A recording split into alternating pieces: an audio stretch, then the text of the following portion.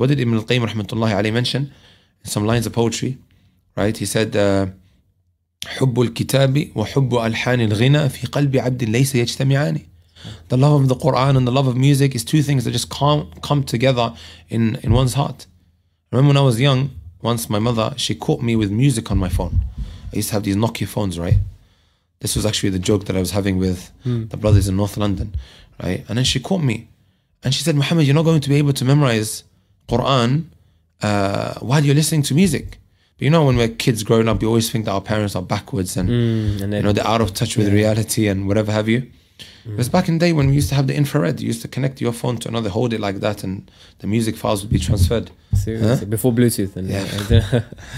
Shahid, subhanAllah, she said that to me. And then years down the line, I came across this line of poetry. Mm. The love of music and the love of Quran are two things that just can't come in together in one's heart.